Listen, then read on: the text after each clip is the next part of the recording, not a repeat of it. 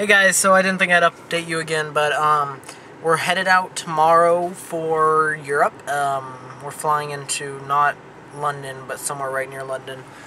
And I just wanted to say goodbye, and then I would hopefully be updating you guys as I go. And I'm just about to head out to get a haircut right now for for England and Europe and all that. Um, I mean, yeah, geography, whatever. So I'll talk to you as soon as I get my haircut. And hello, um, just got back from the haircut. I um, came over to my grandparents to just pick up some stuff and drop up um, our, our itinerary for the trip. Um, I will miss you guys. Uh, I'll miss vlogging, and uh, we were just looking at the hotels, so uh, the few, uh, like the first night we'll have internet, I believe, so I'll upload something tomorrow night or in the morning, which, wherever, whenever we have more time. Because we're getting into um, England at like, I think it's 9.30 their time, and it's 1 in the morning our time.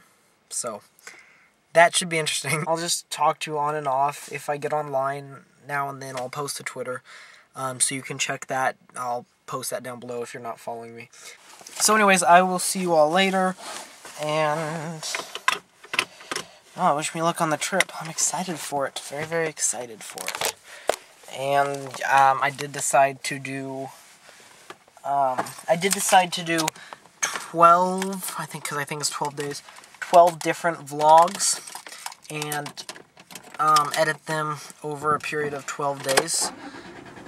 And hopefully, hopefully make something interesting. So 12 different videos. Uh, I'll see you guys all later. Bye.